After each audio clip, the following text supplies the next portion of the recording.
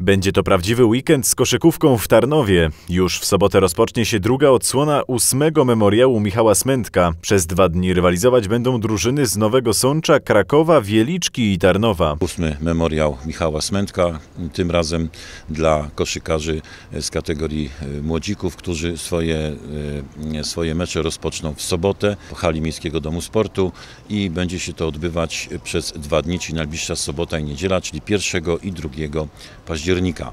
Dodam, że e, tym razem przeciwnikami naszych, e, naszych zawodników e, będzie drużyna z Nowego Sącza, następnie będzie UKS Regis Wieliczka, będzie Wisła Kraków i oczywiście KS Krakowia 1906 Gortata.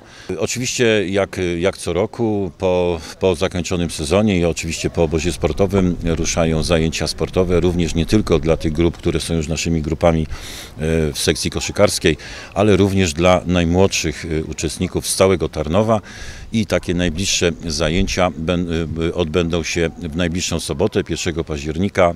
Y, to jest dla uczniów klas czwartych szkół podstawowych i młodszych w hali sportowej Gimnazjum nr 11 przy ulicy Szujskiego 15, godzina 9.00. Gorąco zapraszam wszystkich młodych adeptów koszykówki Tarnowa. Na parkiety powraca także trzecia liga koszykówki, a wraz z nimi zawodnicy MUX 18-11 Unia Tarnów, która zmierzy się z MKS z Skawą Wadowice. Co bardzo ważne, prowadzona będzie także zbiórka na rzecz Adasia Skrzypka, chłopca chorego na rdzeniowy zanik mięśni. Na zakończenie memoriału odbędzie się pierwszy mecz y, ligi, trzeciej ligi koszykówki. Przeciwnikiem naszych, y, naszych chłopców y, będą, będzie drużyna Skawa Wadowice. Godzina rozpoczęcia 18.30 również na, w hali sportowej Miejskiego Domu Sportu. I e, właśnie też w tym dniu, w niedzielę, mm, będziemy grali dla Adasia.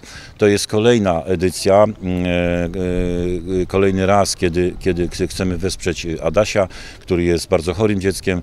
Myślę, że nasi, nasi kibice, a także inne osoby, które chętnie przyjdą na spotkanie nie tylko memoriałowe, ale przede wszystkim na spotkanie trzeciej ligi, wesprzą te nasze działania. Będą podczas tego meczu wolontariusze, którzy będą zbierać tą symboliczną cegiełkę na to, aby można było później e, kupić lekarstwa, które pomogą Adasiowi w jego, e, w jego zdrowiu. Serdecznie i gorąco zapraszam na ten dzień, jak również na wszystkie pozostałe. Początek meczu na hali Miejskiego Domu Sportu w Tarnowie Mościcach w niedzielę o godzinie 18.30.